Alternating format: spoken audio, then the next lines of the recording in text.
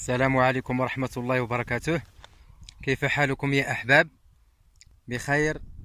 نسأل الله سبحانه وتعالى أن يفرحنا برفع هذا الوباء.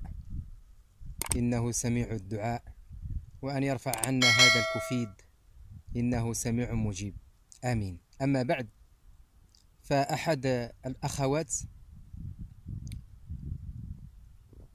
فيها مرض القرحة المعدية أي جرثومة المعدة.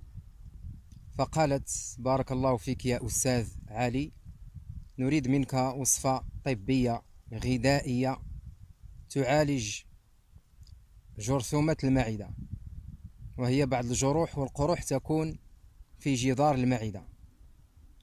وأنا حاليا قد كنت أصبت بها في هذه الأيام بعد العيد الأضحى فشفيت بإذن الله سبحانه وتعالى تماما باللبان الذكر وهو لونه أصفر بعض الشيء منهم من يقول له المستكة يمضغ في الفم بعض الشيء وهو مطهر للثة والأضرس والأسنان من التسوس ومن الدماء الجارية وهو كذلك يعالج قرحة المعدة مئة في المئة.